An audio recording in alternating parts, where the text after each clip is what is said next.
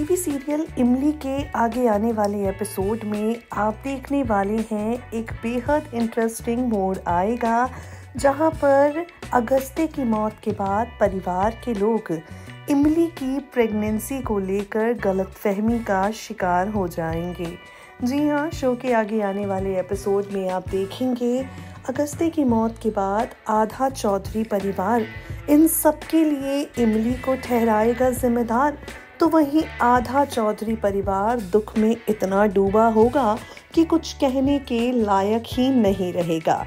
ढेर सारे twist and turns के बीच में आप देखेंगे, इमली अगस्ते को खो देने के बाद भी इस बात पर यकीन नहीं कर पाएगी कि अगस्ते बाबू अब कभी लौट कर नहीं आएँगे। वेल वेल वहाँ दूसरी तरफ़ आप देखेंगे इमली। हो जाए कि बेहोश और सीरियल की कहानी में लाया जाएगा, उसकी प्रेगनेंसी का नया मोड़।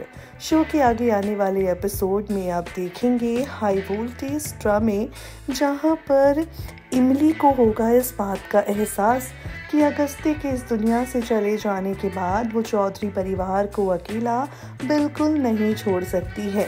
और चौधरी परिवार के साथ रहना है अगर तो ज़रूरी है कोई बड़ी वजह होना। तो ऐसे में ये बड़ी वजह बनने वाली है, कुछ और नहीं, बल्कि इमली की प्रेगनेंसी जी हाँ अपनी प्रेगनेंसी के चलते ही यहाँ पर इमली घर के लोगों के साथ रहेगी। अपनी प्रेगनेंसी के चलते ही यहाँ पर इमली परिवार में रह पाएगी। दादी का प्यार भी होने वाले बच्चे की वजह से ही उसे मिलेगा। और क्या क्या ड्रामे होते हैं शो में, देखना होगा।